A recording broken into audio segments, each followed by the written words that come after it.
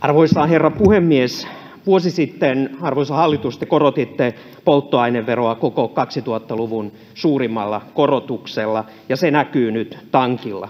Metsuri tankkasi Lopen Shellillä Hiluxiaan, ja kaksi euroa oli lähellä tuo litrahinta, yli sata euroa. Pienituloiset ja maalla asuvat saisivat teidän kompensaatiomallinne mukaan jonkinlaista tukea. Lokakuussa 28.10.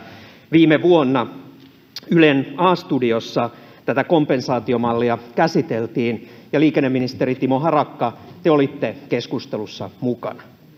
Te vastasitte, kun kysyttiin, mitä se tarkoittaisi, että pienituloisille ja maalla asuville tulisi jotain helpotusta.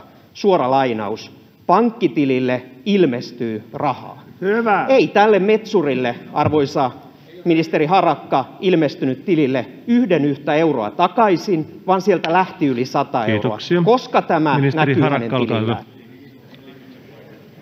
Sieltä lähti yli sata euroa. Kiitoksia. Koska tämä Ministeri näkyy hänen tilillään? Arvoisa puhemies! Erinomaista, että edustaja Heinonen otti esiin tämän väittämänsä, jota myöskin edustaja Antikainen on tässä levitellyt mediassa. Me puhuimme A-studiossa polttoaineen päästökaupasta, jonka edustaja Vähämäki otti tässä esille. Meidän fossiilittoman liikenteen tiekartta on kolmivaiheinen, ja siinä vaiheessa, jos muut toimet eivät riittäisi, olisimme valmiit keskustelemaan päästökaupasta. Mutta nyt näyttää siltä, että liikenne sähköistyy aivan ennätysvauhtia, jolloin meillä tämänhetkinen arvio on se, että kansallinen päästökauppa ei olisi tarpeellinen.